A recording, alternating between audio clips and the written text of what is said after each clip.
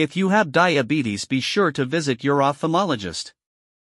Proliferative diabetic retinopathy can cause serious damage to the retina leading to severe vision loss. In this video, a young female presented with tractional retinal detachment due to extensive fibrovascular proliferations along the retinal vessels. Surgical treatment was therefore urgent.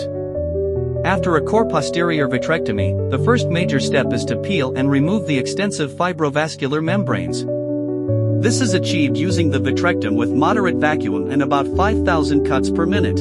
As you pull on these membranes, extreme care is needed not to extend the retinal detachment.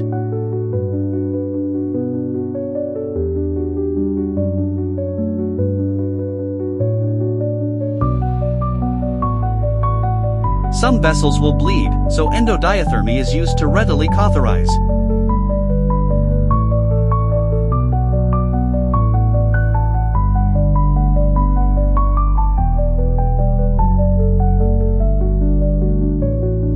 Another very large proliferation stretching from the optic disc is visualized and carefully segmented and aspirated.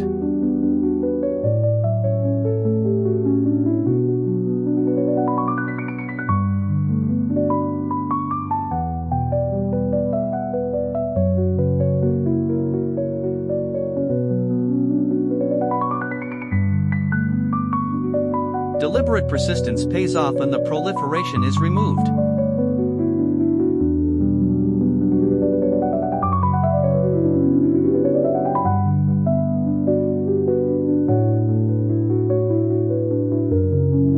Having released the major points of traction, the surgeon proceeds with peripheral vitrectomy. Extensive blood clots are seen and readily aspirated.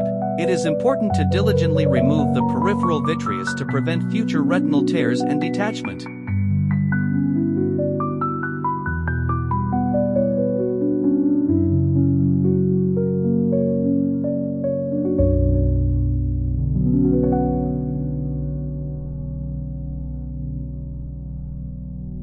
The next major step is to remove the epiretinal membrane, which is very adherent, so brilliant blue dye is injected and using the microforceps, multiple careful grabs are done to remove as much as possible of the fibrotic macular membrane.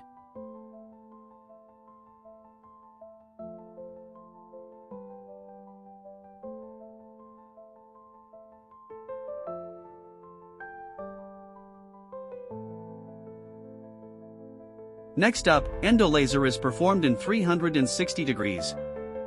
This is critical to reduce the ischemic neovascular stimulus. About 2500 to 3000 laser burns should be enough.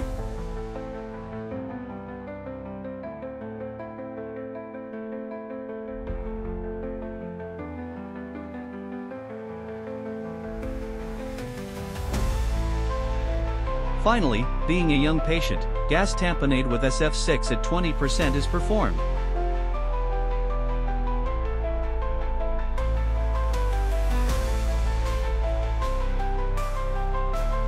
To finish the surgery, triamcinolone is injected to reduce macular edema.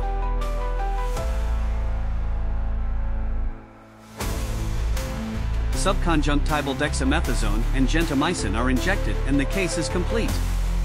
A marked improvement in vision was seen at the first postoperative month.